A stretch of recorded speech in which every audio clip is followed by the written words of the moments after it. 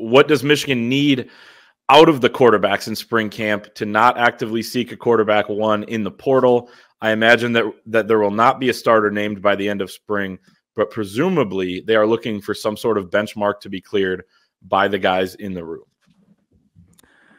Yeah, I mean, you're not going to have a starter at the end of spring ball. Anyone who thinks that you're going to walk out of this camp, you know, with a, pla- a flag firmly planted in, you know, the Alex Orji camp or the Davis Warren camp, and it sounds like those guys, based on what you know, our own Chris Balas is saying, sounds like those two guys have been the best, quote unquote, so far. Uh, again, we don't get to see practices, so we don't know what that entails. But um, it's clear through two weeks that no one has kind of run away with this thing. I mean, everyone kind of has a trait or something they like about them.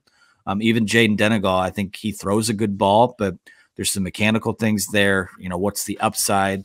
Um, you know, I think for them, what this all comes down to, and I think spring ball playing out to its natural conclusion is that I well, I'm, I will not speculate on names because I don't, I can't say for sure, but you're not going to have, you know, all five of these guys, you know, Orji, uh, Denegal, Davis Warren, Jack Tuttle, who's been banged up and not really playing, and Jadyn Davis, who you can almost to me just kind of put an asterisk next to him competing for this job because I do think that he's a year or so away, and it seems like Michigan thinks that too. So, really, if it's a four per, like you're just not going into fall camp with four guys vying for the job. And I don't think that all four guys would be down for that. I think you might very well see a transfer out if that was to occur. So, you know, I guess to come back to, to RC Go Blues question, I mean, you know, what do you need to see out of those guys? And it it has to be listen, you don't need to be JJ McCarthy, but I think to run this off offense and run it at a championship caliber level, you probably have to execute it as well as Cade McNamara did a couple years ago. And I don't know that they have that guy on the roster right now. Um, you know, there's still, as we sit here record on April 1st, there's still 19 days to go until the spring game. Something could change. I mean, even think back to when Cade and JJ uh, battled it out for that job. Um, JJ really didn't come on until what the last week to 10 days of practice, whatever it were or whatever it was that made them push that battle out. So something could change quickly, but in the here and now, I mean, you want to hear someone is grabbing the job by the horns and running away with it. And we, we're not hearing that so far. Yeah. And I, I don't think that there's one benchmark that needs to be cleared because it's kind of a moving target.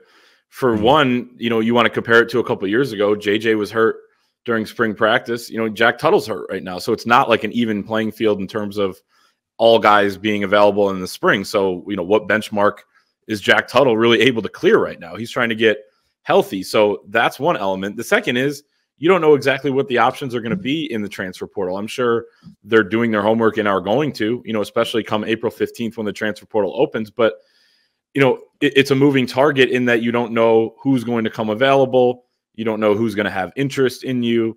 So, again, you're just going to look for the best quarterback that you can have, uh, you know, behind center starting games. And whether that's a guy on the roster or a guy in the transfer portal, it remains to be seen because we don't know what all the options are. So I know it's kind of a boring answer uh, to the question, but I just don't think that there's, you know, it's just something you have to constantly evaluate because it is a moving target.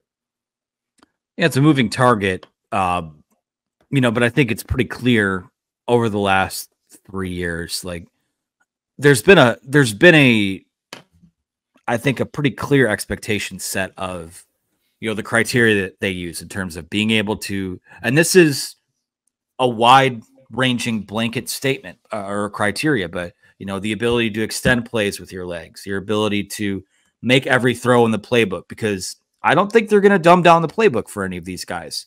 Um you know you adapt to your personnel but that's that's a little bit different. And then the ability to lead scoring drives. Um you know i think those are all things i assume um, that those are all things that are being charted. And again, I think if if they were, you know, I said this, at, you know, as they kind of open spring camp, and even sort of when we previewed it going into it, is that if there's an opportunity to be had for someone to enter this quarterback room and win this job, I think you would kind of start to see word get put out there that that would be the case. And um, well, I wouldn't say that the smoke is billowing out of Schembechler Hall, you know, hoping for someone to come save the Michigan offense at quarterback, right? But it's uh, you know, through two weeks, it's not it's just not where maybe it needs to be. I don't know. It's weird to say, but it's going to be fascinating. I mean, that is by far their their biggest storyline heading into the rest of this offseason, rest of spring ball.